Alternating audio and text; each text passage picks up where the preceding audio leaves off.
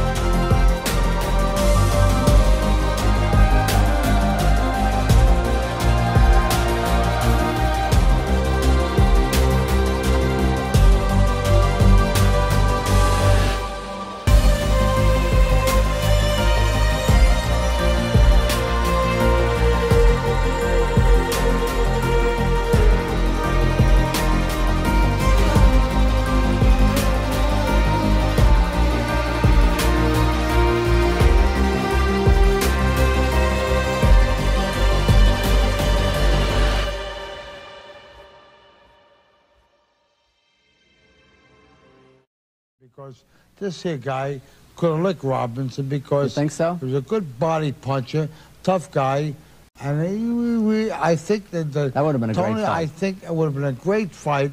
In my opinion, I fought Ro- Ro- Robinson I, and I fought Tony. In my opinion, I think that Tony Zale would have licked him.